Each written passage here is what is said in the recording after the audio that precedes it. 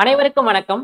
Anna administrative staff college aim TN YouTube channel மூலமாக வழங்கக்கூடிய TNPSC group four தேர்வுக்கான பொது தமிழ் வகுப்பு பார்த்துட்டு இருக்கோம் பொது தமிழ்ல இலக்கணம் பார்த்துட்டு இருக்கோம் இலக்கணத்துல இன்றைக்கு என்ன பார்க்க போறோம் அப்படின்னு பார்த்தோம் அப்படின்னா பொருள் இலக்கணம் அப்படின்னா என்ன அப்படின்னு சொல்லி பார்க்க போறோம்.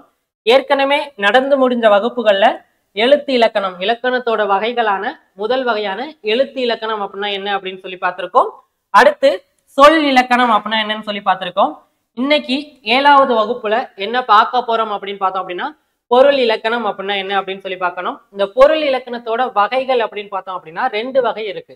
ஒன்னு அகப்பொருள் இன்னொன்னு என்ன அப்படின்னு பார்த்தோம் அப்படின்னா புறப்பொருள். இன்றைய வகுப்புல அகப்பொருள் இலக்கணம் அப்படின்னா என்ன அப்படின்னு சொல்லி பார்க்க போறோம். இந்த அகப்பொருள் இலக்கணத்துல அகத்திணைகள் எத்தனை? அன்பின் ஐந்திணைகள் எத்தனை? இந்த ஐந்திணைகளுக்குரிய முதற் பொருள் என்ன? கருப்பொருள் என்ன உரிப்பொருள் என்ன எல்லாத்த பத்தியும் இந்த வகுப்புல டீட்டெயில்டா பார்க்க போறோம். முதல்ல பொருள் இலக்கணம் அப்படின்னா என்ன அப்படின்னு சொல்லி பார்த்துருவோம்.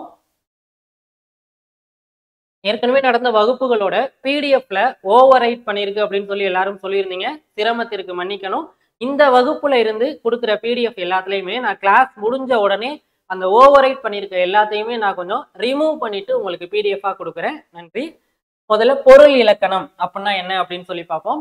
நமக்கு கிடைச்சிருக்கிற மிக பழமையான ஒரு இலக்கண நூல் அப்படின்னா என்னன்னு நமக்கு தெரியும். தொல்காப்பியம் அப்படின்னு சொல்லிட்டு தொல்காப்பியத்தை ஏற்றினது யாரு அப்படின்னா தொல்காப்பியர்.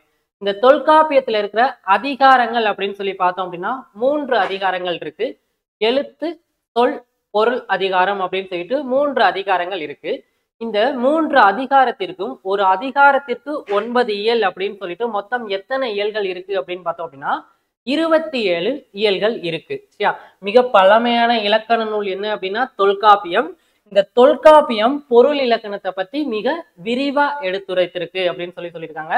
இந்த தொல்காப்பியத்துல மூன்றாவது அதிகாரமா இருக்கிற பொருள் அதிகாரத்துல இருக்கிற ஒன்பது இயல்கள்ல ஐந்து இயல்கள் ஒன்பதுல ஐந்து இயல்கள் பொருள் இலக்கணத்தை பத்தியே மிக விரிவா எடுத்துரைச்சிருக்காங்க. இந்த தொல்காப்பியம் மட்டும்தான் இந்த பொருள் இலக்கணம் பத்தி சொல்லியிருக்கா அப்படின்னு பார்த்தோம் அப்படின்னா கிடையாது. தொல்காப்பியத்தை தொடர்ந்தும்.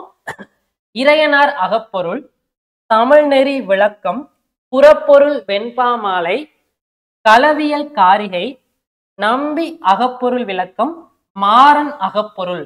இந்த மாதிரியான இலக்கண நூல்களும் பொருள் இலக்கணத்தை பத்தி எடுத்துரைத்திருக்காங்க. வாழ்விற்கு பொருள் தரக்கூடிய கூறுகளை விளக்கி சொல்றதா என்ன அப்படின்னு பார்த்தோம் அப்படின்னா பொருள் இலக்கணம். நம்மளோட வாழ்க்கைக்கு தேவையான ஒரு அதாவது நம்மளோட வாழ்க்கைக்கு தேவையான கூற்றுகளை விளக்கி வெளிப்படையா சொல்வதற்கு பெயர் தான் என்ன அப்படின்னு பார்த்தோம் அப்படின்னா பொருள் இலக்கணம்.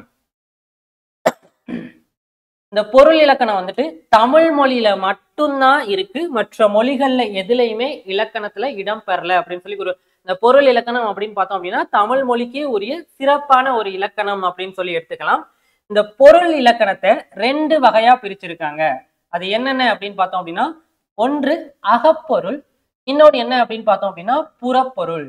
பொருள் இலக்கணம் வாழ்விற்கு தேவையான கூற்றுகளை எடுத்து சொல்றதுக்கு பேர் தான் என்ன அப்படின்னு பார்த்தோம் அப்படின்னா பொருள் இலக்கணம். இந்த பொருள் இலக்கணத்தோட வகைகள் அப்படின்னு சொல்லி பார்த்தோம் அப்படின்னா ரெண்டு வகைகள். அது என்ன அப்படின்னா ஒன்று அகப்பொருள் மற்றொன்று என்ன அப்படின்னு பார்த்தோம் அப்படின்னா புறப்பொருள். இப்போ இந்த அகப்பொருள் அப்படின்னா என்ன அப்படின்னு பார்த்தோம் அப்படின்னா ஒரு ஆணுக்கும் ஒரு பெண்ணுக்கும் இடையே ஏற்படும் காதல் உணர்வுகளை. அகம் அப்படின்னா உள்ளே புறம் அப்படின்னா வெளியே. ஒரு ஆணுக்கும் பெண்ணுக்கும் இடையே நடக்கிற காதல் உணர்வுகளை எடுத்து சொல்வதற்கு பெயர் தான் என்ன அப்படின்னா அகப்பொருள். அப்போ புறப்பொருள் அப்படின்னா என்ன அப்படின்னு பார்த்தோம் அப்படின்னா வீரம் போர் வெற்றி கொடை நிலையாமை முதலிய புறப்பொருள்களை விளக்கமா எடுத்து சொல்றதுக்கு பேர் என்ன அப்படின்னு பார்த்தோம் அப்படின்னா புறப்பொருள் இலக்கணம். அதாவது அகப்பொருள் ஒரு ஆணுக்கும் பெண்ணுக்கும் இடையே ஏற்படுற காதல் உணர்வுகளை எடுத்து சொல்வதற்கு பேர் அகத்திணை அதாவது அகப்பொருள் இலக்கணம். வீரம் வெற்றி போர் இவற்றை பற்றி எடுத்து சொல்றதுக்கு பேர் என்ன அப்படின்னு பார்த்தோம் அப்படின்னா புறப்பொருள். அது அகப்பொருள் ஒழுக்கத்தை பற்றி கூறுற இலக்கணம் என்ன அப்படின்னு பார்த்தோம் அப்படின்னா அகத்திணை இலக்கணம். புறப்பொருள் ஒழுக்கத்தை பத்தி சொல்றதுக்கு பேர் என்ன அப்படின்னு பார்த்தோம் அப்படின்னா புறத்திணை இலக்கணம். பொருள் இலக்கணத்தோட வகைகள் ரெண்டு ஒன்று அகப்பொருள் மற்றொன்று புறப்பொருள். இந்த வகுப்புல என்ன பார்க்க போறோம் அப்படின்னு பார்த்தோம் அப்படின்னா அகப்பொருள் இலக்கணத்தை பத்தி தான் இந்த வகுப்புல பார்க்க போறோம். அடுத்த வகுப்புல புறப்பொருள் இலக்கணம் அப்படின்னு சொல்லி பார்ப்போம். இப்போ இந்த அகப்பொருள் இலக்கணத்துல என்னென்னலாம் பார்ப்போம் அப்படின்னு பார்த்தோம் அப்படின்னா அக அதாவது அகத்திணைகள் எத்தனை இருக்கு? மொத்த அன்பின் ஐந்திணைகள் என்னென்ன இருக்கு? முதற்பொருள் கருப்பொருள் உரிப்பொருள் அப்படின்னா என்ன? நிலமும் பொழுதும் என்னென்ன? அப்படின்னு சொல்லிட்டு இந்த வகுப்புல நம்ம பார்ப்போம். அடுத்த வகுப்புல புறத்திணைகள் மொத்தம் பன்னெண்டு வகையில் இருக்கு. அது என்ன அப்படின்னு சொல்லிட்டு அடுத்த வகுப்புல டீட்டெயில்டா பார்ப்போம். ஒரு ஆணுக்கும் பெண்ணுக்கும் இடையே ஏற்படுற காதல் உணர்வை மையமாக கொண்டு அகப்பொருள் இலக்கணம் அமையப்பட்டுள்ளது. ஏற்கனவே பார்த்த மாதிரி ஒரு ஆணுக்கும் பெண்ணுக்கும் இடையே ஏற்படுற காதல் உணர்வுகளை வெளிப்படுத்துறதா என்ன அப்படின்னு பார்த்தோம் அப்படின்னா அகப்பொருள் இலக்கணம். இதுல ஆணை வந்துட்டு என்ன சொல்லுவாங்க அப்படின்னா தலைவன் அப்படின்னு சொல்லிட்டோம். பெண்ணை வந்துட்டு என்ன சொல்லுவாங்க அப்படின்னா தலைவி அப்படின்னு சொல்லிட்டு இந்த அகப்பொருள் இலக்கணத்துல வந்துட்டு தலைவன் தலைவி அப்படிங்கிறவங்க முதன்மையா கருதப்படுறாங்க. இவங்க ரெண்டு பேர் தவிர்த்து மூன்றாவதா ஒருத்தவங்க இருக்காங்க அப்படின்னு பார்த்தோம். யாருன்னா? அது தோழி. தோழி அப்படின்னா யாருன்னா? இந்த தலைவியோட தோழி. தலைவனோட தோழி கிடையாது. தலைவியோட தோழியும் என்ன பண்றாங்க அப்படின்னு பார்த்தோம் அப்படின்னா அகப்பொருள் பாடல்கள்ல முதன்மை பெற்று விளங்குறாங்க. இந்த காதல் பற்றிய பாட்டுகளை பாடுறப்போ வந்துட்டு தலைவன் தலைவி அதாவது ஒரு ஆணை வந்துட்டு தலைவன் அப்படின்னு சொல்லிட்டோம். பெண்ணை தலைவி அப்படிங்கிற பொதுவான ஒரு பெயராலேயே சொல்றாங்களே தவிர அவங்களோட இயற்பெயரை சொல்லி குறிப்பிடுறது கிடையாது. ஏன் அப்படின்னு பார்த்தோம் அப்படின்னா இந்த காதல் உணர்வு அப்படிங்கிறது எல்லாருக்குமே பொதுவானது அப்படிங்கிறதுனால ஒரு குறிப்பிட்ட பெயரை மட்டும் சொல்லாமல் என்ன அப்படின்னா ஒரு ஆணை வந்துட்டு தலைவன் அப்படின்னு சொல்லிட்டோம் பெண்ணை வந்துட்டு தலைவி அப்படிங்கிற பெயராலும் குறிப்பிடுறாங்க. அகப்பொருள் பாடல்கள் பெரும்பாலும் எப்படி இருக்கு அப்படின்னு பார்த்தோம் அப்படின்னா ஒரு நாடக பாங்கான அமைப்பிலேயே அமைந்திருக்கு. தொல்காப்பியர் வந்துட்டு அகத்திணை. தொல்காப்பியத்துல தொல்காப்பியர் வந்துட்டு அகத்திணை மொத்தம் எத்தனை இருக்கு அப்படின்னு சொல்லி குறிப்பிட்டிருக்காரு அப்படின்னு பார்த்தோம் அப்படின்னா மொத்தம் ஏழு அகத்திணைகள் இருக்கு அப்படின்னு சொல்லி சொல்லியிருக்காங்க. என்னென்ன அப்படின்னு பார்த்தோம் அப்படின்னா குறிஞ்சி முல்லை மருதம் நெய்தல் பாலை கைக்கிளை பெருந்திணை அப்படின்னு சொல்லிட்டு அகத்திணைகள் மொத்தம் எத்தனை அப்படின்னு பார்த்தோம் அப்படின்னா ஏழு. இதுல அன்பின் ஐந்திணைகள் என்னென்ன அப்படின்னு பார்த்தோம் அப்படின்னா குறிஞ்சி முல்லை மருதம் நெய்தல் பாலை. இந்த ஐந்தும் என்ன அப்படின்னு பார்த்தோம் அப்படின்னா அன்பின் ஐந்திணைகள். இந்த கைக்கிளை பெருந்திணை அப்படின்னு சொல்லி பார்த்தோம் அப்படின்னா கைக்கிளையும் பெருந்திணையும் குறித்து பொதுவா அதிகமான பாடல்கள் பாடப்படலை. இதுக்கான இலக்கணங்களும் அதிகமா வகுக்கப்படலை. கைக்கிளை அப்படிங்கிறது என்ன அப்படின்னு பார்த்தோம் அப்படின்னா ஒருதலை காமம் பெருந்திணை அப்படிங்கிறது என்ன அப்படின்னா பொருந்தா காமம். இலக்கியத்துல கைக்கிளை என்பது ஒருதலை காமம் ஐந்திணை என்பது அன்புடை காமம் பெருந்துணை என்பது பொருந்தா காமம் அப்படின்னு சொல்லிட்டு குறிப்பிட்டிருக்காங்க. இந்த ஐந்திணைகளுக்குரிய மும்மூன்று பொருட்கள் என்ன அப்படின்னு சொல்லி பார்த்தோம் அப்படின்னா ஒன்று முதற் பொருள் இன்னொன்னு என்ன அப்படின்னு பார்த்தோம் அப்படின்னா கருப்பொருள் மூன்றாவது என்ன அப்படின்னு பார்த்தோம் அப்படின்னா உரிப்பொருள். இந்த மூன்று பொருள்களும் என்னென்ன அப்படின்னு சொல்லி பார்ப்போம். ஐந்திணைக்கும் உரிய முப்பொருள்கள். அஞ்சு திணைகள்ல இருக்கிற ஒழுக்கத்தோடு தொடர்புடைய உலக பொருள்கள் இந்த அஞ்சு திணைகளுக்கும் பொதுவான உலகத்தோடு தொடர்புடைய பொருள்களை வந்துட்டு என்ன பண்ணியிருக்கோம் அப்படின்னு பார்த்தோம் அப்படின்னா மூன்று வகையா பிரிச்சிருக்கோம். ஒன்று முதற் பொருள் ரெண்டாவது கருப்பொருள் மூன்றாவது என்ன அப்படின்னு பார்த்தோம் அப்படின்னா உரிப்பொருள் அப்படின்னு சொல்லிட்டு மூன்று வகைகளா பிரிச்சிருக்கோம். இதுல முதற் பொருள் அப்படின்னா என்னன்னு பார்த்தோம் அப்படின்னா முதன்மையும் அடிப்படையுமான பொருட்கள் என்ன அப்படின்னா முதற் பொருள் யா முதன்மையானது என்ன அப்படின்னா முதற் பொருள். முதலும் இதுதான் அடிப்படை தேவை அப்படின்னு சொல்லி கருதப்படுற பொருள் என்ன அப்படின்னு பார்த்தோம் அப்படின்னா முதற் பொருள். அது என்ன அப்படின்னு பார்த்தோம் அப்படின்னா ஒன்று நிலம் மற்றொன்று பொழுது. அதாவது அந்த அஞ்சு திணைகளுக்குமான அடிப்படையே என்ன அப்படின்னு பார்த்தோம் அப்படின்னா நிலம் தான். சரியா? நம்ம வாழ்றதுக்கு அடிப்படை தேவை அப்படின்னா ஒரு நிலம் அப்படின்னு சொல்லி வச்சுக்கலாம். அதாவது முதன்மையும் அடிப்படையுமான பொருள் என்ன அப்படின்னா முதற் பொருள். ஒன்று நிலம் மற்றொன்று என்ன அப்படின்னு பார்த்தோம் அப்படின்னா பொழுது. இந்த ஐந்து திணைகளுக்குமான பொழுது. இந்த பொழுதை ரெண்டு வகைகளா பிரிப்போம். ஒன்று பெரும் பொழுது மற்றொன்று சிறு பொழுது அப்படின்னு சொல்லிட்டு ரெண்டு வகைகளா பிரிப்போம். முதற் பொருள் அதாவது முதன்மையும் அடிப்படையுமான பொருள் என்ன அப்படின்னா முதற் பொருள். அடுத்தது என்ன அப்படின்னு பார்த்தோம் அப்படின்னா கருப்பொருள் ஒவ்வொரு நிலத்தையும் சார்ந்து அங்கு விளங்கும் அதாவது அங்க விளங்கக்கூடிய வாழக்கூடிய அங்கு சிறப்பாக திகழக்கூடிய. விளங்கும் வாழும் திகழும் பொருட்கள் யாவுமே என்ன அப்படின்னு பார்த்தோம் அப்படின்னா கருப்பொருள்கள். அங்க விளங்கக்கூடிய அங்கு வாழக்கூடிய மனிதர்கள் விலங்குகள் பறவைகள் அங்க திகழக்கூடிய சிறப்புகள் அதாவது பூக்கள் பறை பண் இது எல்லாமே என்ன அப்படின்னு பார்த்தோம் அப்படின்னா கருப்பொருள் தான் இலக்கண நூல்கள்ல கருப்பொருள் மொத்தம் எத்தனைன்னு சொல்லி குறிப்பிட்டிருக்காங்க அப்படின்னு பார்த்தோம் அப்படின்னா பதினான்கு வகையான ஐந்து திணைகளுக்கும் பதினான்கு வகையான கருப்பொருட்கள் இருக்கு அப்படின்னு சொல்லிட்டு இலக்கணங்கள்ல குறிப்பிட்டிருக்காங்க. தெய்வம் உணவு அதாவது அந்த ஐந்து நிலங்களுக்குரிய தெய்வம் அந்த ஐந்து நிலத்திலும் உள்ள மக்கள் உண்ணக்கூடிய உணவு அந்த ஐந்து நிலங்கள்லையும் வசிக்கக்கூடிய பறவைகள் விலங்குகள் அவங்க செய்யக்கூடிய தொழில்கள் பண்கள் இவை எல்லாமே என்ன பார்த்தோம் அப்படின்னா அந்த கருப்பொருள்ல பதினான்குன்னு சொல்லியிருக்கோம் அந்த பதினான்குக்குள் அடங்கக்கூடியவை. அடுத்தது உரிப்பொருள். ஒவ்வொரு நிலத்துல வாழ்ற மக்கள் நிகழ்த்துற ஒழுக்க அமைப்பு தான் என்ன அப்படின்னு பார்த்தோம் அப்படின்னா உரிப்பொருள். அந்த தி- ம- நிலத்துல வாழக்கூடிய மக்களோட மக்களோட ஒழுக்கம் எவ்வாறு அழைக்கப்படுகிறது அப்படின்னு பார்த்தோம் அப்படின்னா உரிப்பொருள் அப்படின்னு சொல்லிட்டு அழைக்கப்படுது. ஒரு நிலத்துல சார்ந்து அங்குள்ள கருப்பொருள்கள் ஒரு நிலம் இப்ப குறிஞ்சி அப்படின்னா அந்த குறிஞ்சி நிலத்தை சார்ந்து அங்க இருக்கிற கருப்பொருள்கள் இந்த விலங்கு தொழில் அது தெய்வம் இவங்களை அடிப்படையா வச்சு பாடப்படுற பாடல்கள்ல அந்த நிலத்திற்கோட ஒழுக்க அமைப்பு என்ன பண்ணும் அப்படின்னு பார்த்தோம் அப்படின்னா இடம் பெறும்.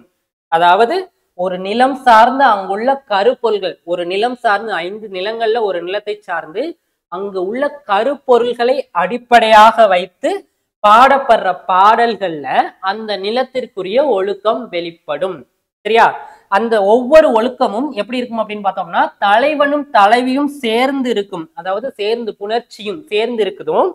அதோட நிமித்தம் அதற்கான காரணங்களை அடிப்படையாக வைத்து ஐந்து நிலங்களுக்கும் ஐந்து வகையான ஒழுக்கங்கள் வரையறுக்கப்பட்டுள்ளன. அந்த அஞ்சு ஒழுக்கங்கள் என்னென்ன அப்படின்னு சொல்லிட்டு நம்ம பின்னாடி பார்க்க போறோம். முதல்ல முதற் பொருள் அப்படின்னா என்ன அப்படின்னு சொல்லி பார்ப்போம். நிலமும் பொழுதும் என்ன அப்படின்னு பார்த்தோம்னா முதற் பொருள் அப்படின்னு சொல்லி பார்த்தோம். சரியா? நிலமும் பொழுதும் இந்த ரெண்டுமே என்ன அப்படின்னு பார்த்தோம் அப்படின்னா முதற் பொருள் உலகில் உள்ள உயிர்கள் தோன்றுவதற்கும் இயங்குவதற்கும் ஆதாரமாக உள்ளதுனா இவற்றை முதற் பொருள் ஏற்கனவே நம்ம ஃபர்ஸ்ட் வகுப்புல முதல் எழுத்து அப்படின்னா என்ன அப்படின்னு சொல்லி பார்த்தோம்.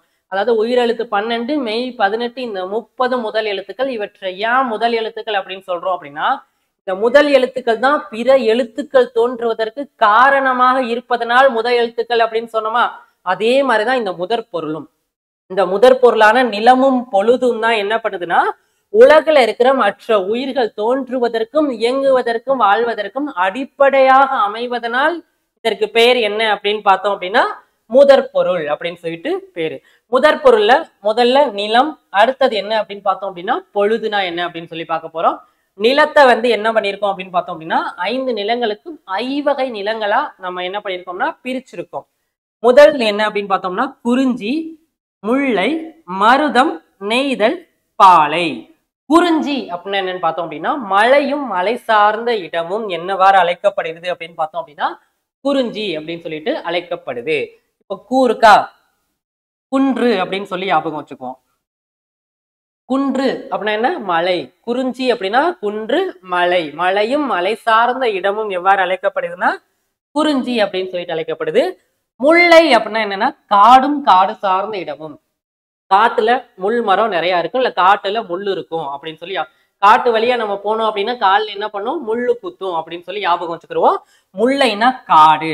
குறிஞ்சி அப்படின்னா குன்று. குன்றுனா மலை. மலையும் மலை சார்ந்த இடமும் என்னவாறு அழைக்கப்படுகிறதுனா குறிஞ்சின்னு அழைக்கப்படுது. முல்லை அப்படின்னா என்னன்னா காடு.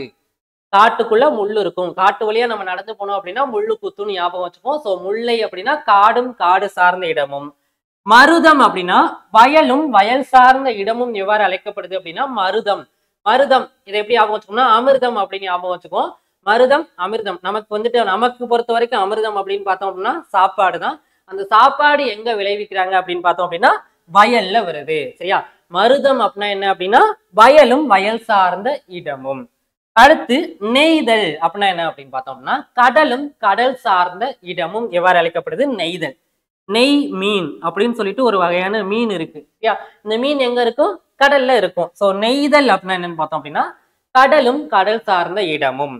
பாலை அப்படின்னா என்னன்னு பார்த்தோம் அப்படின்னா இந்த குறிஞ்சியோ முள்ளையோ மருதமோ நெய்தல் இந்த நான்கு வகையான நிலங்களும் தன்னோட இயல்புல இருந்து குன்றிடுச்சு அப்படின்னா அது எவ்வாறு அழைக்கப்படுது அப்படின்னு பார்த்தோம் அப்படின்னா பாலை மணலும் மலர் சார்ந்த இடமும் அதாவது வறண்ட நிலப்பகுதி சுரமும் சுரம் சார்ந்த இடமும் எவ்வாறு அழைக்கப்படுது அப்படின்னு பார்த்தோம் அப்படின்னா பாலை. பாலை அப்படின்னா பாலா போனது. அதாவது இந்த நிலங்கள் எல்லாம் பால் பெற்று போச்சு அப்படின்னா அதற்கு பெயர் என்ன அப்படின்னு பார்த்தோம் அப்படின்னா பாலை அப்படின்னு சொல்லிட்டு அழைக்கப்படுது. சரியா? குறிஞ்சி அப்படின்னா என்ன? குன்று மலையும் மலை சார்ந்த இடமும் முல்லை அப்படின்னா என்ன? காட்டுக்குள்ள முள்ளு குத்தும் காடும் காடு சார்ந்த இடமும் மருதம் அதாவது அமிர்தம் ஞாபகம் வச்சுக்கோம். வயலும் வயல் சார்ந்த இடமும் எவ்வாறு அழைக்கப்படுது? மருதம்னு அழைக்கப்படுது. நெய்தல் அப்படிங்கிறது என்ன அப்படின்னு பார்த்தோம் அப்படின்னா கடலும் கடல் சார்ந்த இடமும். நெய்தல்னா நெய் மீன் ஞாபகம் வச்சுக்கோம். கடலும் கடல் சார்ந்த இடமும் நெய்தல்.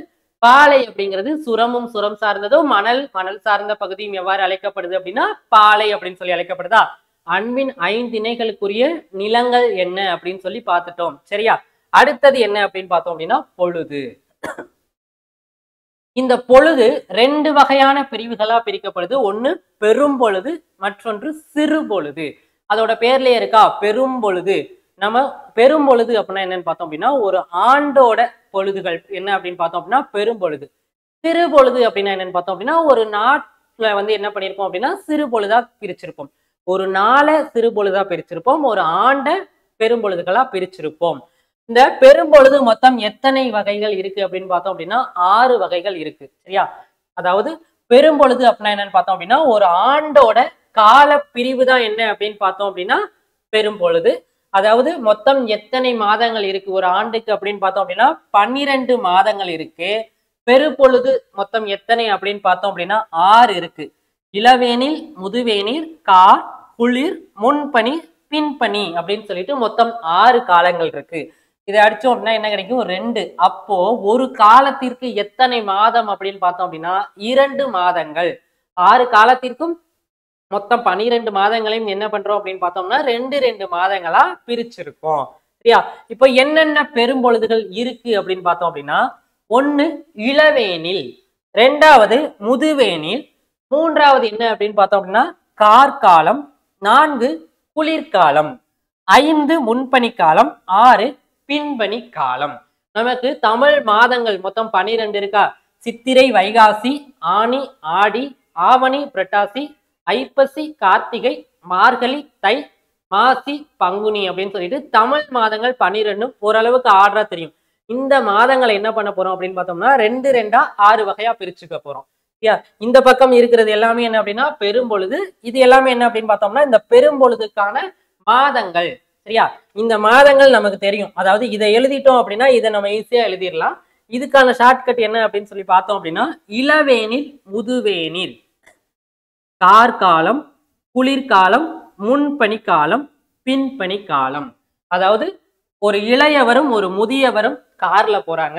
ஒரு இளையவரும் ஒரு முதியவர் அதாவது ஒரு இளைஞனும் ஒரு முதியவரும் கார்ல போறாங்க. குளிர் அடிக்குது கார்ல போகும்போது குளிர் அடிக்குது குளிர் அடிச்சா இப்ப நம்ம கார்ல போகும்போது குளிர்ச்சுன்னா என்ன பண்ணுவோம்? முன்னாடி இருக்கிற கதவையும் பின்னாடி இருக்கிற கதவையும் சாத்தணும் அப்படின்னா குளிர் அடிக்காது அதாவது இளையவரும் முதியவரும் கார்ல போறாங்க குளிர் அடிக்குது முன் கதவையும் பின் கதவையும் சாத்தணும் அப்படின்னா குளிர் நின்றும். பெரும்பொழுது இளையவரும் முதியவரும் கார்ல போறாங்க. முன்னாடியும் பின்னாடியும் என்ன அதாவது குளிர் அடிக்குது முன்னாடியும் பின்னாடியும் உள்ள கதவை சாத்தணும். இளையவர் அப்படின்னா இளவேநீர் காலம் முதியவர் அப்படின்னா என்ன அப்படின்னு பார்த்தோம் அப்படின்னா முதுவேநீர் காலம். காருங்கிறது கார்காலம் குளிர்ங்கிறது குளிர்காலம். முன்பனி முன்னாடி உள்ள கதவு பின்னாடி உள்ள கதவையும் சாத்தணும் அப்படின்னா குளிர் அடிக்காது பின்பனி காலம். இந்த ஆறும் நம்ம ஒரு ஆர்டரா எழுதி முடிச்சிட்டோம் அப்படின்னா இந்த சித்திரை வைகாசிய ஆர்டரா நம்ம என்ன பண்ண போறோம் அப்படின்னா இளவேநீர் அப்படின்னா சித்திரையும் வைகாசியும் என்ன அப்படின்னு பார்த்தோம் அப்படின்னா இளவேநீர் காலத்திற்குரிய மாதங்கள். அடுத்து முதுவேநீர் அப்படின்னா என்னன்னு பார்த்தோம் அப்படின்னா ஆணியும் ஆடிக்கும் உரிய காலங்கள். கார்காலம் ஆவணி புரட்டாசி ரெண்டும் என்ன அப்படின்னு பார்த்தோம் அப்படின்னா கார்காலம். குளிர்காலம் அப்படின்னா என்னன்னா ஐப்பசியும் கார்த்திகையும் என்ன அப்படின்னு பார்த்தோம்னா குளிர்காலத்துக்குரிய மாதங்கள். முன்பனி காலம் மார்கழி தை. இந்த ரெண்டும் என்ன அப்படின்னு பார்த்தோம்னா முன்பனி காலம் பின்பணி காலம்ங்கிறது மாசி பங்குனி. இந்த ரெண்டும் என்ன அப்படின்னு பார்த்தோம் அப்படின்னா பின்பணி காலங்கள். இதற்கான ஆங்கில மாதங்கள் நமக்கு இது வரைக்கும் கேட்டது கிடையாது. இருந்தாலும் தெரிஞ்சுக்கணும் அப்படிங்கிறதுக்காக கொடுத்துருக்கோம். அதாவது இது வந்து என்ன அப்படின்னு பார்த்தோம்னா தமிழ் மாதங்கள் ஆங்கில மாதங்கள் அப்படின்னு சொல்லி பார்த்தோம் அப்படின்னா இளவேநீர் காலத்திற்கான ஆங்கில மாதம் அதாவது ஏப்ரல் பதினஞ்சுல இருந்து ஜூன் பதினஞ்சு வரைக்கும் என்ன அப்படின்னு பார்த்தோம் அப்படின்னா இளவேநீர் காலம். முதுவேநீர் காலம் அப்படிங்கிறது என்ன அப்படின்னா ஜூன் பதினஞ்சுல இருந்து ஆகஸ்ட் பதினஞ்சு வரைக்கும் என்ன அப்படின்னு பார்த்தோம் அப்படின்னா முதுவேநீர் காலம். நான் இதெல்லாம் எரேஸ் பண்ணிட்டு உங்களுக்கு பிடிஎஃபா கொடுத்துட்றேன். அடுத்து கார்காலம் அப்படிங்கிறது என்ன அப்படின்னு பார்த்தோம் அப்படின்னா ஆகஸ்ட் பதினஞ்சுல இருந்து அக்டோபர் பதினஞ்சு வரைக்கும் ஆஹ், என்ன பார்த்தோம் அப்படின்னு பார்த்தோம் அப்படின்னா ஆகஸ்ட் பதினஞ்சுல இருந்து அக்டோபர் பதினஞ்சு வரைக்கும் கார்காலம். குளிர்காலம் வந்துட்டு அக்டோபர் பதினஞ்சுல இருந்து டிசம்பர் பதினஞ்சு வரைக்கும் குளிர்காலம். முன்பணி காலம் வந்துட்டு டிசம்பர் பதினஞ்சுல இருந்து பிப்ரவரி பதினஞ்சு வரைக்கும் என்ன அப்படின்னா முன்பணி காலம். இந்த பின்பணி காலம் எப்போ அப்படின்னா பிப்ரவரி பதினஞ்சுல இருந்து ஏப்ரல் பதினஞ்சு வரைக்கும் என்ன அப்படின்னு பார்த்தோம் அப்படின்னா பின்பணி காலம். நமக்கு தமிழ் மாதங்களும் இதோட பெயர்கள் மட்டும்தான் தேவை. இது சும்மா தெரிஞ்சுக்கணும் அப்படிங்கிறதுக்காக கொடுத்துருக்கோம். இளவேநீர் காலத்தோட இன்னொரு பேர் என்ன அப்படின்னு பார்த்தோம் அப்படின்னா வசந்த காலம் அப்படின்னு சொல்லிட்டு பொருள்.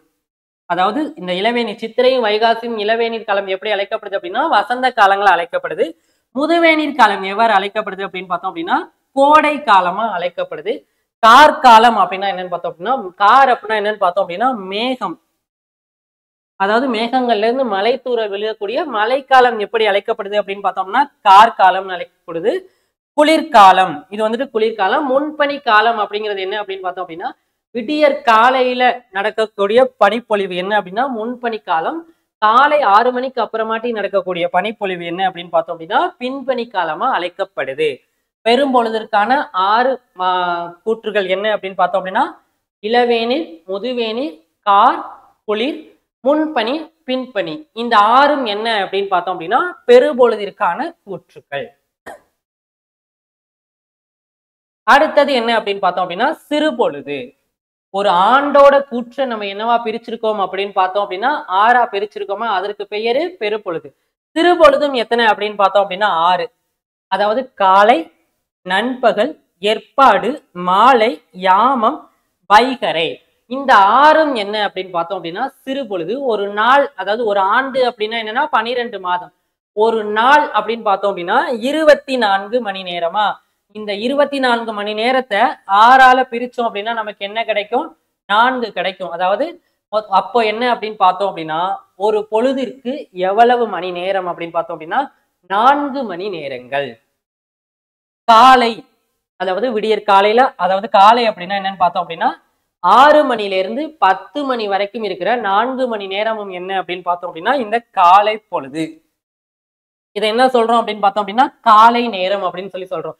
காலையில ஆறு மணில இருந்து பத்து மணி வரைக்கும் இடைப்பட்ட நான்கு மணி நேரமும் என்ன அப்படின்னு பார்த்தோம் அப்படின்னா காலை பொழுது. அடுத்து நண்பகல்.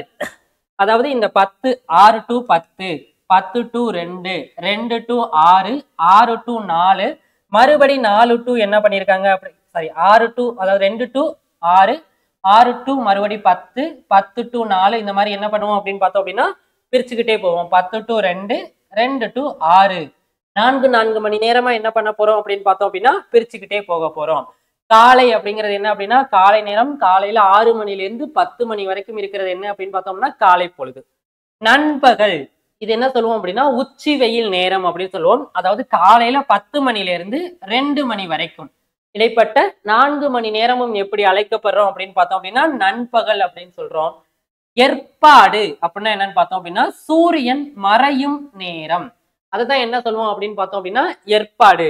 அது எப்போ அப்படின்னா பிற்பகல் ரெண்டு மணில இருந்து ஆறு மணி வரைக்கும். சாயங்காலம் ஆறு மணி வரைக்கும் இருக்கிற காலம் என்ன அப்படின்னு பார்த்தோம் அப்படின்னா ஏற்பாடு. எல் அப்படின்னா என்னன்னு பார்த்தோம் அப்படின்னா சூரியன். பாடு அப்படின்னா என்னன்னு பார்த்தோம் அப்படின்னா மறையும் பொழுது. அதற்கு பேர் தான் என்ன அப்படின்னு பார்த்தோம் அப்படின்னா ஏற்பாடு. அது எப்போ அப்படின்னு பார்த்தோம்னா ரெண்டு மணில இருந்து ஆறு மணி வரைக்கும். மதியானம் ரெண்டு மணில இருந்து சாயங்காலம் ஆறு மணி வரைக்கும் இருக்கிறது என்ன அப்படின்னு பார்த்தோம் அப்படின்னா ஏற்பாடு. அடுத்தது என்ன அப்படின்னு பார்த்தோம்னா மாலை. மாலை அதாவது முன்னிரவு நேரம். இரவிற்கு முன்னாடி வரக்கூடிய பொழுதுதான் என்ன அப்படின்னு பார்த்தோம் அப்படின்னா மாலை பொழுது. இந்த மாலை பொழுது எப்போ அப்படின்னா மாலை ஆறு மணிலேருந்து இரவு பத்து மணி வரைக்கும் இடைப்பட்ட காலம் எப்படி அழைக்கப்படுது அப்படின்னு பார்த்தோம்னா மாலை பொழுது அப்படின்னு சொல்லி அழைக்கிறோம்.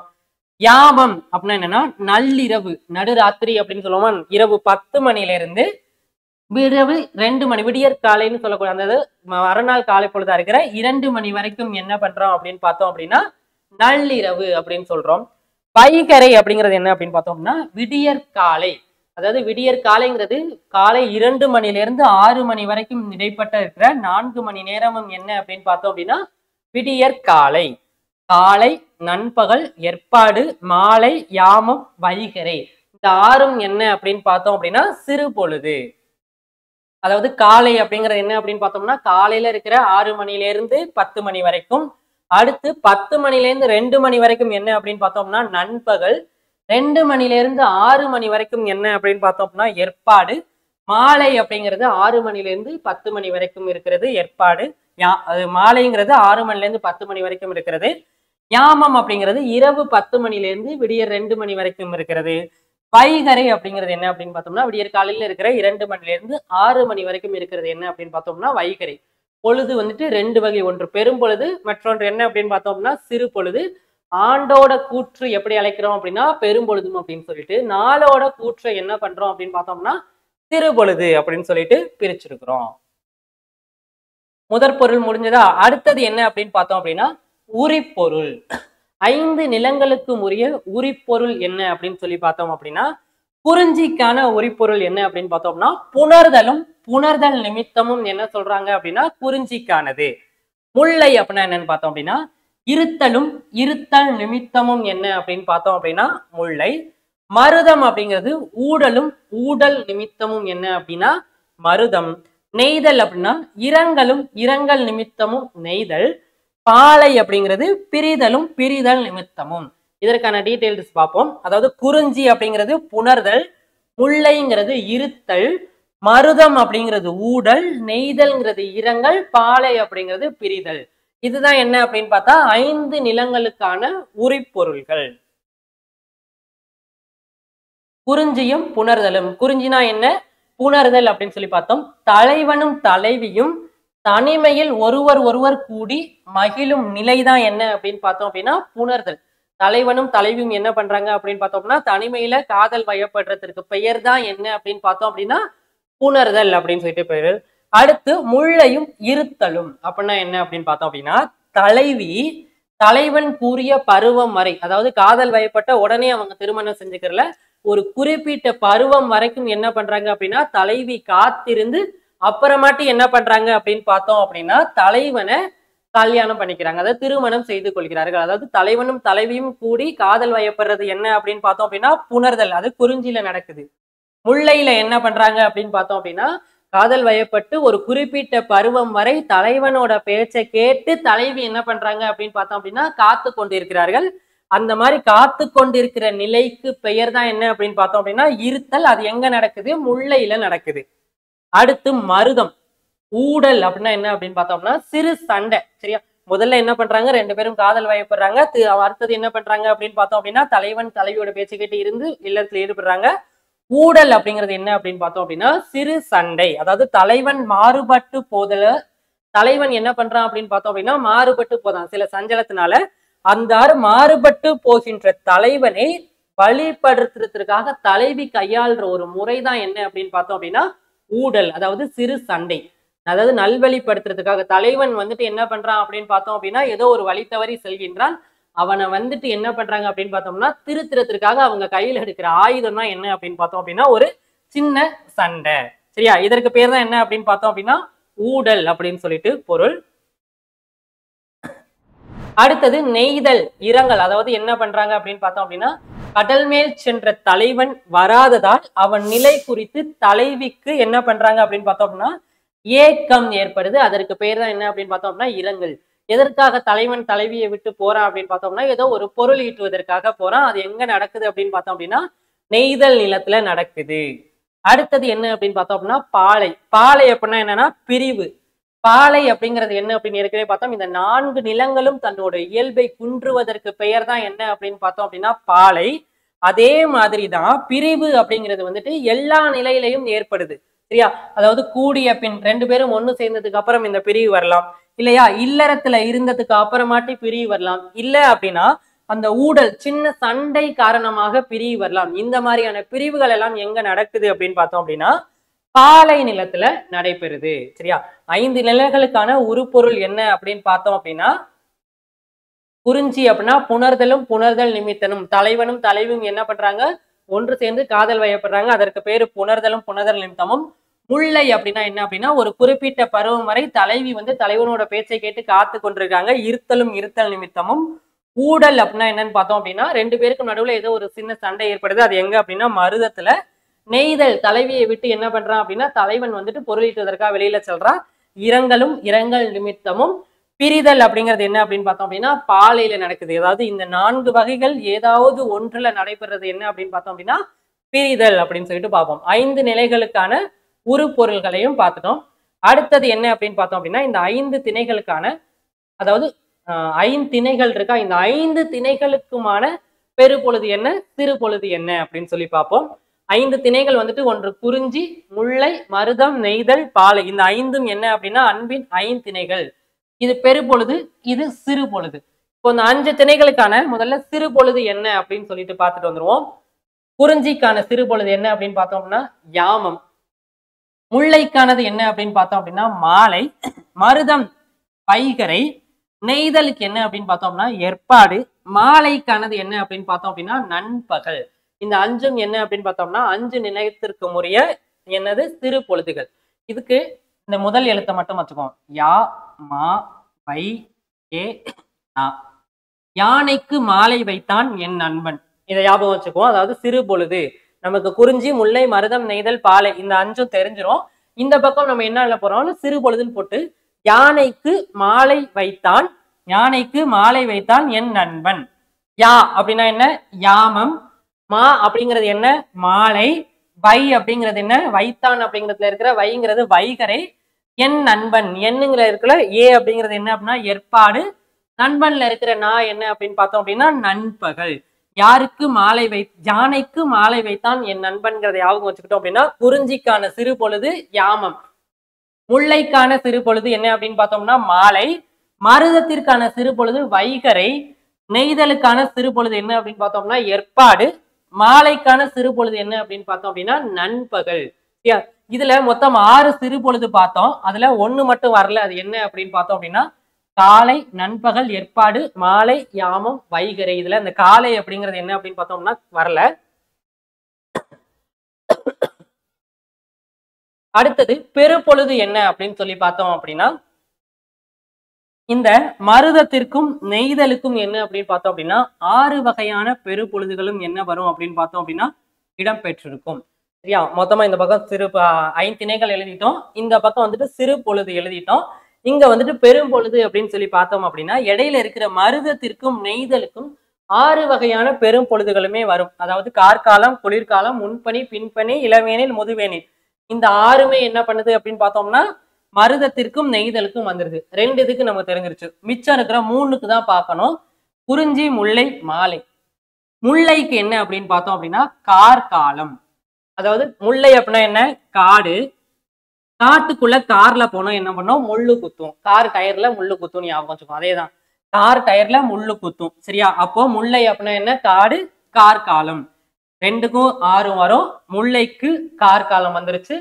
மீதம் பார்த்தோம் அப்படின்னு பார்த்தோம் அப்படின்னா மிச்சம் வந்து ஆறு பொழுதுல வந்துட்டு என்ன இருக்கு? ஒன்னு இங்க போயிடுச்சு அப்படின்னா மிச்சம் எத்தனை இருக்கு அப்படின்னு பார்த்தோம் அப்படின்னா அஞ்சு இருக்கு. இதுல குறிஞ்சி கூ அப்படின்னா என்ன? குளிர்னு ஞாபகம் வச்சுக்குவோம். அதாவது கா மலை மேல என்ன பண்ணும்? அதிகமா குளிரா தான் இருக்கும் மலை பிரதேசங்கள்ல. ஸோ குறிஞ்சி அப்படின்னா குளிர் முன்பனி. முன்பனி அப்படிங்கிறது என்ன? பனிக்காலம். அதாவது விடியற் காலை பொழுதுக்கு முன்னாடி பெய்யக்கூடிய பனி என்ன? முன்பனி காலம் இதுல குளிர்காலமும் முன்பனி காலமும் என்ன அப்படின்னு பார்த்தோம்னா குறிஞ்சி. பாலைக்கானது. பாலை அப்படின்னாலே என்ன? ஒரே பாலைவனம் அதாவது வறண்ட நிலப்பகுதி வெயிலா தான் இருக்கும். அங்க என்ன இருக்கு? இளவேனில் முதுவேனில். வேனில் வெயில் காலம் மட்டும்தான் இருக்க போது பின்பனி காலம் இருக்க போகுது. இன்ற மூன்று பகுதிகளும் எங்க இருக்கு அப்படின்னு பார்த்தோம் அப்படின்னா பாலை நிலத்துல இருக்கு. அதாவது ஐந்திணைகளுக்கான சிறு பொழுது என்ன அப்படின்னா குறிஞ்சிக்கானது யாமம் முல்லைக்கானது மாலை மருதத்திற்கானது என்ன அப்படின்னா வைகரை நெய்தத்திற்கானது ஏற்பாடு பாலை அப்படிங்கிறது என்ன அப்படின்னு பார்த்தோம் அப்படின்னா நண்பகல் அப்படின்னு சொல்லிட்டு ஐந்து நிலைகளுக்கும் ஐந்து திணைகளுக்கும் ஐந்து சிறு பொழுது வந்துருச்சு. பெரும்பொழுது அப்படின்னு சொல்லி பார்த்தோம் அப்படின்னா மருதத்திற்கும் நெய்தலிற்கும் ஆறு பெரும்பொழுதுகளும் வரும். முல்லைக்கு கார்காலம் வரும். குறிஞ்சிக்கு வந்துட்டு குளிர்காலமும் முன்பனி காலமும் வரும். பாலைக்கு வந்துட்டு இளவேனில் முதுவேனில் பின்பனி காலம். இந்த வெயில் நடக்கக்கூடிய காலங்கள்லாம் என்ன பண்ணும் அப்படின்னு பார்த்தோம் அப்படின்னா பாலை நிலத்திற்கு இடம்பெற்று வருது. அடுத்தது என்ன அப்படின்னு பார்த்தோம் அப்படின்னா கருப்பொருள். அதாவது உரிப்பொருள்னா என்னன்னு பார்த்தோம். முதற் பொருள் நிலமும் பொழுதும் பார்த்துட்டோம். உரிப்பொருள் பார்த்துட்டோம். அதை திணைகளுக்கான ஒழுக்கங்கள் தான் என்ன பார்த்தோம் அப்படின்னா உரிப்பொருள் அப்படின்னு சொல்லி பார்த்தோம். அடுத்தது என்ன அப்படின்னு பார்த்தோம் அப்படின்னா கருப்பொருள். அங்க வாழக்கூடிய மக்கள் அவங்க செய்யக்கூடிய தொழில் தெய்வம் அவங்களோட உணவு முறை இது எல்லாம் தான் என்ன அப்படின்னு பார்த்தோம் அப்படின்னா கருப்பொருள். மொத்தம் எத்தனை கருப்பொருள் அப்படின்னு பார்த்தோம் அப்படின்னா பதினான்கு வகையான கருப்பொருள் இருக்கு. இந்த அட்டவணையில மொத்தம் பதிமூன்று வகையான கருப்பொருள் இருக்கும். அது ஒண்ணு என்ன விட்டது அப்படின்னு பார்த்தோம் அப்படின்னா இந்த மக்கள்ல அவங்க அங்க வாழக்கூடிய மக்கள்ல வந்துட்டு உயர்ந்தோர் தாழ்ந்தோர் அப்படின்னு சொல்லிட்டு ரெண்டு வகையா பிரிச்சு மொத்தம் பதினாலா இருக்கும். இதுல மொத்தமாவே உயர்ந்தோர் தாழ்ந்தோர் அப்படின்னு சொல்லிட்டு இல்லாம ஒரே வகையா மக்கள் அப்படின்னு சொன்னதுனால இதுல பதிமூணு இருக்கு.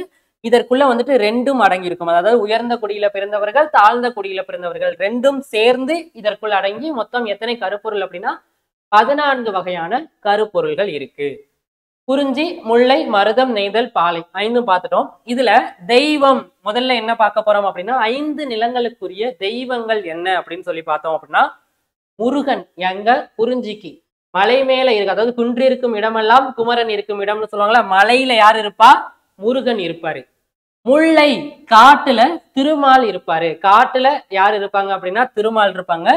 மருதம் அதாவது என்ன அப்படின்னு பார்த்தோம் அப்படின்னா மருதம்ங்கிறது வயலும் வயல் சார்ந்த குறிஞ்சிங்கிறது காடு. சரி மலை.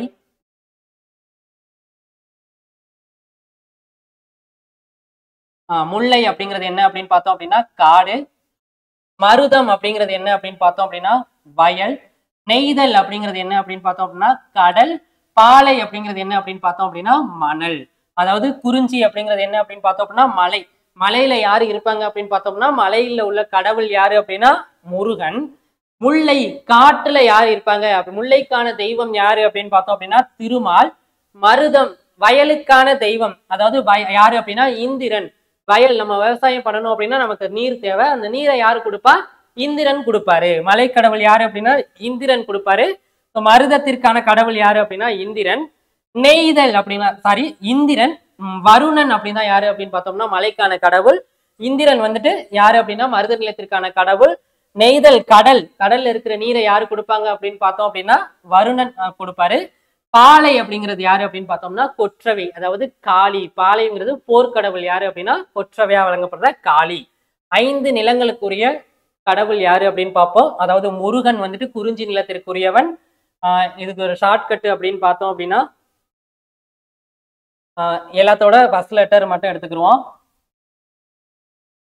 கொற்றவை அதாவது முறுக்க திருட ஒரு இந்திக்காரன் வர்றான் கொற்றவை அப்படிங்கிறது ஒரு பெண் கொடுத்துறாத அப்படின்னு சொல்லி ஞாபகம் வச்சுக்கோ அதாவது முறுக்கு திருட இந்திக்காரன் வர்றான் கொடுத்துறாத அப்படின்னு சொல்லி ஞாபகம் வச்சுக்கோ. ஸோ முறுக்கு அப்படின்னா முருகன் திருட அப்படின்னா திருமால் இந்தி அப்படின்னா என்னன்னா இந்திரன் வர்றான் அப்படிங்கிறதுல வருங்கிறது என்ன அப்படின்னு பார்த்தோம் அப்படின்னா வருணன் கொடுத்துறாத அதாவது கொற்றவை அப்படிங்கிறவங்க யாரு அப்படின்னா காளி பெண் தெய்வம். ஐந்து நிலங்களுக்குரிய கடவுள்கள் இவங்க. அடுத்தது இங்க வாழக்கூடிய மக்கள். பார்ப்போம் அப்படின்னா உயர்ந்தோர் தாழ்ந்தோர் அப்படின்னு சொல்லிட்டு ரெண்டு வகையா பிரிச்சிருக்காங்க. இதுல வெற்பன் அப்படிங்கிறவங்க யாரு அப்படின்னா உயர்குடியில பிறந்தவர்கள். இந்த குறவர் குரத்தியர் இவங்க என்ன அப்படின்னு பார்த்தோம் அப்படின்னா தாழ்ந்த குடியில சேர்ந்தவருங்க. அங்க வாழ்ற மக்களை என்ன சொல்றாங்க அப்படின்னு பார்த்தோம் அப்படின்னா வெற்பன் குறவர் குரத்தியர் அப்படிங்கிற பெயரால குறிப்பிடுறாங்க. அடுத்து முல்லை காடு சார்ந்த பகுதியில என்ன சொல்றாங்க அப்படின்னு பார்த்தோம் அப்படின்னா ஆயர் ஆய்ச்சியர் காட்டுல வந்துட்டு என்ன பண்ணுவாங்க? ஆடு மாடு மேய்க்கிறாங்களா? அந்த ஆடு மாடு மேய்க்கிறவங்களை என்ன சொல்லி குறிப்பிடுறாங்க அப்படின்னு பார்த்தோம்னா ஆயர் ஆய்ச்சியர்னு சொல்லி குறிப்பிடுறாங்க. அங்க வாழ்ற உயர்ந்த குடியில பிறந்தவர் வந்து தோன்றல் குடியினர் அப்படின்னு சொல்லிட்டோம். தாழ்ந்த குடியினரை வந்துட்டு ஆயர் ஆய்ச்சியர் அப்படிங்கிற பெயராலும் குறிப்பிடுறாங்க. மருதம் வயலும் வயல் சார்ந்த பகுதியில உயர்ந்த குடியில பிறந்தவர்கள் ஊரன் அப்படிங்கிற பெயராலும் உழவர் உலத்தியர். வயல்ல என்ன பண்றாங்க? உழவு வேலை தான் செய்வாங்க. அவங்கள என்ன சொல்றாங்க அப்படின்னு பார்த்தோம் அப்படின்னா உழவர் உலத்தியர் அப்படிங்கிற பெயரால குறிப்பிடுறாங்க. அடுத்து நெய்தல் நிலத்துல பிறந்த உயர்ந்த குடியை சார்ந்தவர்கள் எவ்வாறு அழைக்கப்படுறாங்க அப்படின்னா சேர்ப்பன் அப்படிங்கிற பெயராலும் தாழ்ந்த குடியை சார்ந்தவர்கள் வந்துட்டு பரதன் பரத்தியர் அப்படிங்கிற பெயரால அழைக்கப்படுறாங்க. பாலை நிலத்துல எயினர் எயிற்றியர் அதாவது வேட்டையாடுபவர்களை வசித்து கொண்டு வர்றாங்க. இவங்க தான் என்ன அப்படின்னு பார்த்தோம்னா இந்த ஐந்து நிலைகளுக்குரிய மக்கள். அடுத்தது என்ன அப்படின்னு பார்த்தோம்னா உணவு முறை. குறிஞ்சியில உள்ளவங்களோட உணவு முறை அப்படின்னு பார்த்தோம் அப்படின்னா மலை நெல்லும் திணையும். முருகனுக்கு பிடித்த உணவு என்ன அப்படின்னு பார்த்தோம்னா தேனும் திணை மாவும் அப்படின்னு சொல்லுவாங்க.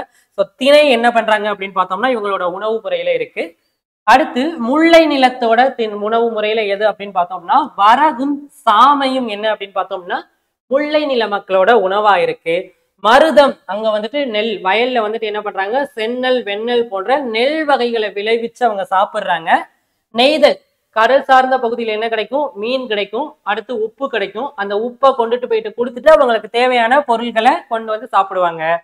பாலை நிலம். அங்க இருக்கிற மக்களே என்ன பண்ணுவாங்க? வேட்டையாடி தான் உணவுப் பொருட்களை ஒன்று சாப்பிட்டுட்டு இருக்காங்க. அந்த மாதிரி வேட்டையாடுறதுனால கிடைக்கக்கூடிய பொருட்களை மட்டும்தான் அவங்க என்ன பண்றாங்கன்னா உணவுப் பொருட்களா உட்கொண்டுட்டு வர்றாங்க.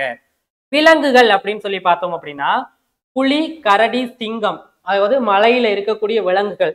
கரடி இருக்கு சிங்கம் இருக்கு புலி இருக்கு. இந்த விலங்குகள் எல்லாம் மலையில வசிக்குது. காட்டுகள்ல என்ன இருக்கு அப்படின்னு பார்த்தோம்னா முயல் மான் போன்ற விலங்குகளும் புலியும் என்ன பண்ணுது அப்படின்னு பார்த்தோம்னா காடுகள்லயும் இருக்கு. வயல்ல என்ன இருக்கு அப்படின்னு பார்த்தோம்னா அதாவது மருதத்துல வந்துட்டு எருமையும் நீர்நாயும் இருக்கு. நெய்தல் நிலம் கடற்பகுதியில வந்துட்டு சுறா மீன் வகைகளும் முதலைகளும் இருக்கு. பாலை நிலத்துல வழி இழந்த யானை அங்க இருக்கிற மக்களே வேட்டையாடி தான் உணவுப் பொருட்களை உண்றாங்க அப்படிங்கிறப்போ அங்க இருக்கிற யானை வந்து தன்னோட வலிமை குன்றி வழி இழந்து காணப்பட்டுக்கிட்டு வருது. அடுத்து பூ அப்படின்னு சொல்லி பார்த்தோம் அப்படின்னா குறிஞ்சி நிலத்துல வந்துட்டு குறிஞ்சி காந்தல் மலர் அதாவது செங்காந்த மலர் நம்மளோட தமிழகத்தோட மலரா கருதப்படுற செங்காந்த மலர் எங்க இருக்கு அப்படின்னு பார்த்தோம்னா குறிஞ்சி நிலத்துல இருக்கு. முல்லை நிலத்துல வந்துட்டு முல்லையும் தோன்றி பூவும் எங்க இருக்கு அப்படின்னு பார்த்தோம்னா முல்லை நிலத்துல வச்சிருக்கு. மருதத்துல வந்துட்டு செங்கழு நீரும் தாமரை வயல்ல வந்துட்டு குளத்துல தாமரை பூ மலர்ந்திருக்கு. அடுத்தது நெய்தல்ல வந்துட்டு தாழை மலர் இருக்கு. பாலையில வந்துட்டு குரவம் பாதிரி பூ அப்படிங்கிற பூ வந்துட்டு பாலை நிலத்துல இருக்கு. மரம் அப்படின்னு பார்த்தோம் அப்படின்னா குறிஞ்சில மலைப்பகுதியில என்ன இருக்கு அப்படின்னு பார்த்தோம்னா அகிலும் வேங்கை மரங்களும் இருக்கு. கொன்றை கயா மரம் எங்க இருக்கு அப்படின்னு பார்த்தோம்னா முல்லை நிலப்பகுதியில இருக்கு. காஞ்சி மருத மரம் வந்துட்டு மருத நிலத்திலையும் புன்னை ஞாழ் எல்லாமே எங்க இருக்கு அப்படின்னு பார்த்தோம்னா நெய்தல் நிலத்துல இருக்கு. பாலை நிலத்துல என்ன இருக்கு அப்படின்னு பார்த்தோம்னா இலுப்பை மரம். அதாவது இலுப்பை பூ மரம் வந்து எங்க இருக்கு அப்படின்னா பாலை நிலத்துல இருக்கு. அடுத்து இது குறிஞ்சி முல்லை மருதம்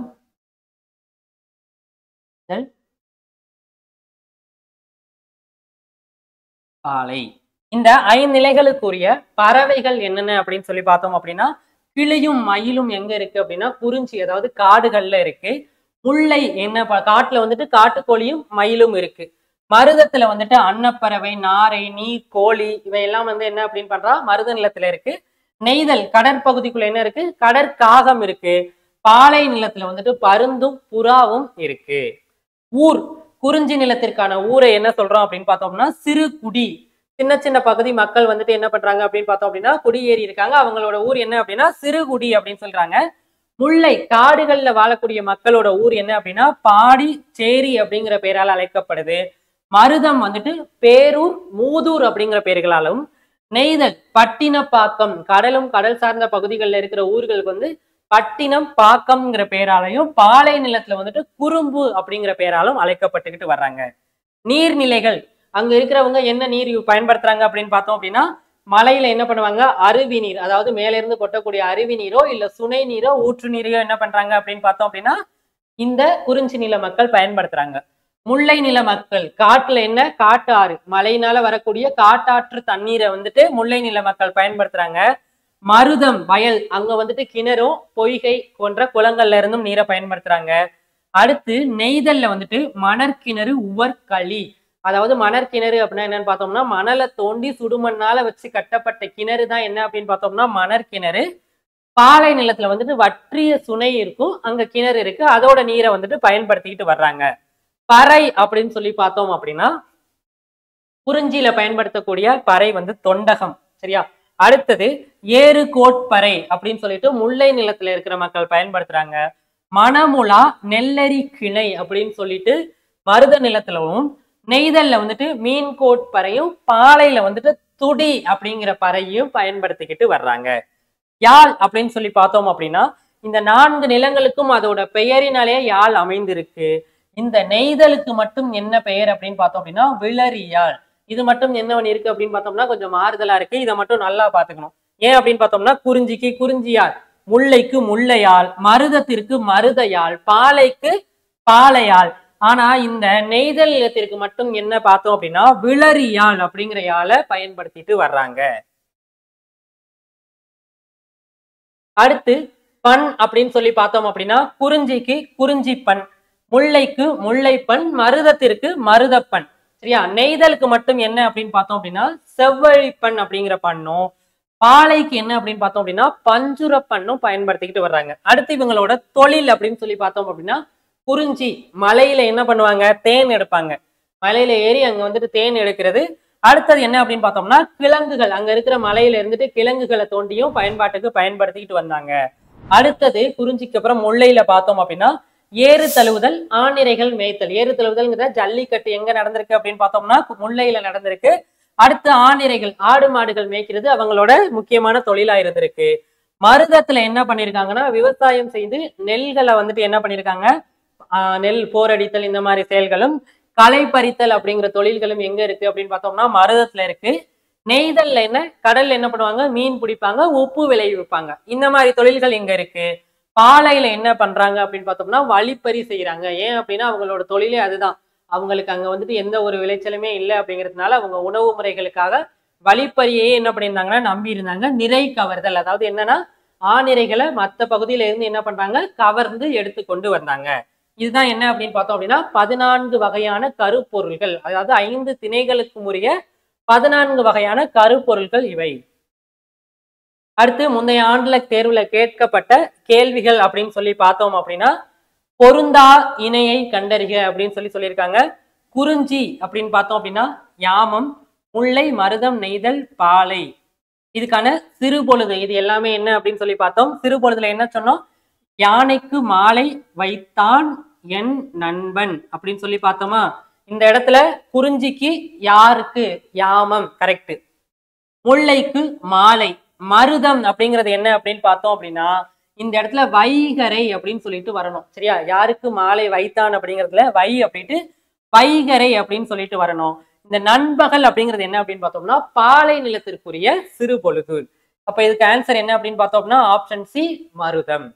அடுத்தது அதே மாதிரிதான் பொருந்தாத இணையை இதுவும் என்ன அப்படின்னு பார்த்தோம் அப்படின்னா சிறு பொழுதுதான். குறிஞ்சிக்கு யாமம் பொருந்தாத இணையை தான் கேட்டிருக்காங்க. இந்த இடத்துல பாலை அப்படிங்கிறது என்ன அப்படின்னு பார்த்தோம் அப்படின்னா நண்பகல் வரணும். ஏற்பாடு அப்படிங்கிறது என்ன அப்படின்னு பார்த்தோம்னா நெய்தல் நிலத்திற்கு உரியது.